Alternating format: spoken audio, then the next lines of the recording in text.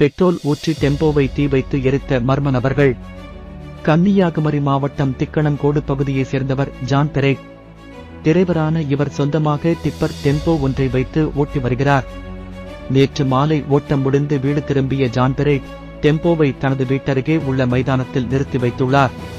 இந்த நிலையில் நேற்று நள்ளிரவு அந்த பகுதிக்கு பெட்ரோல் பாட்டிலுடன் வந்த மர்ம நபர்கள் டெம்போ மீது பெட்ரோலை ஊற்றி தீ வைத்து எரித்துவிட்டு தப்பிச் சென்றுள்ளனர். இதில் டெம்போவில் தீ பற்றி மளமளவென எரிய தொடங்கியது.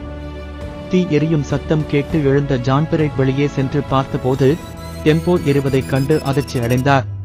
உடனே தீயை அணைக்க முயன்றுள்ளார். ஆனால் அதற்குள் டெம்போ முற்றிலும் எரிந்து நாசமானது.